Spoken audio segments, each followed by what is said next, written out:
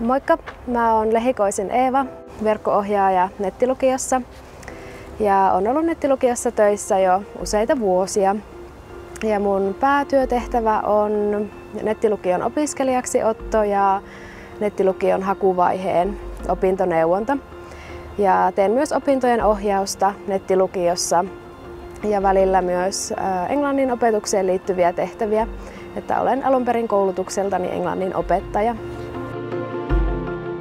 Asun Jyväskylän keskustassa Harjun kupeessa ja täällä Harjun maisemissa tulee usein vapaa-ajallakin käveltyä.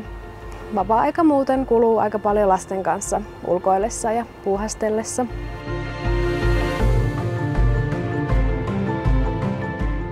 Tässä vuosien varrella on ollut kiinnostavaa kuulla meidän opiskelijoiden erilaisista taustoista ja tavoitteista.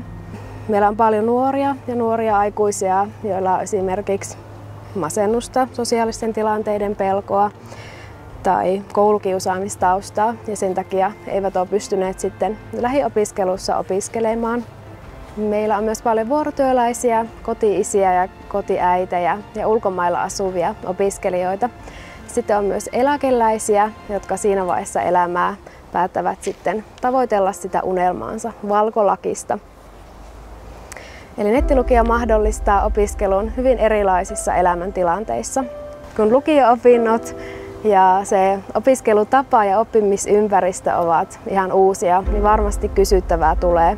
Uskalla siis kysyä ja uskalla tavoitella omia unelmia ja ole valmis tekemään töitä sen unelmasi eteen.